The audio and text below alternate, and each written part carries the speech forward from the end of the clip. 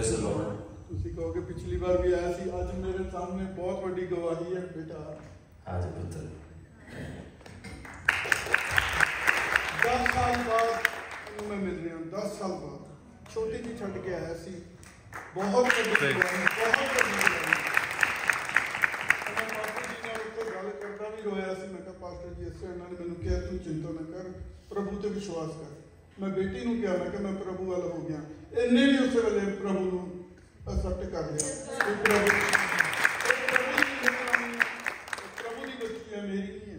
ਇਹ ਪ੍ਰਭੂ ਦੀ ਬੱਚੀ ਹੈ ਤੁਹਾਡਾ ਸਾਰਿਆਂ ਦਾ ਥੈਂਕ ਯੂ ਕਰਦਾ। ਪਾਸਟਰ ਜੀ ਦਾ ਖਾਸ ਤੌਰ ਤੇ ਜਿਨ੍ਹਾਂ ਨੇ ਮੈਨੂੰ ਇੱਥੇ ਤੱਕ ਲੈ ਕੇ ਆਏ।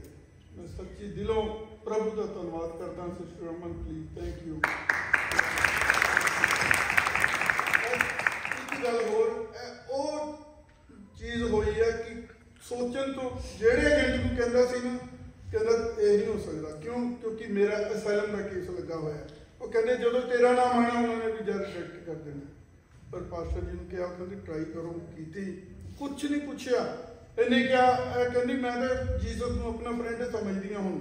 ਜਦੋਂ ਮੈਂ ਕਹਿੰਦੀ ਉੱਥੇ 에어ਪੋਰਟ ਤੇ ਗਈ ਇਮੀਗ੍ਰੇਸ਼ਨ ਤੇ ਕਹਿੰਦੀ ਮੈਂ ਉਦੋਂ ਕਿਹਾ ਕਿ ਜੀਸਸ ਸੰਭਾਲ ਲਿਓ। ਕਿਸੇ ਨੇ ਸਿਸਟਰ ਕੁਝ ਨਹੀਂ ਪੁੱਛਿਆ। ਕਿਸੇ ਨੇ ਥੈਂਕ ਯੂ ਤੁਹਾਡਾ ਤੁਹਾਡਾ ਸਾਰਿਆਂ ਦਾ ਥੈਂਕ ਯੂ ਕਰਦਾ ਹਾਂ Glory be.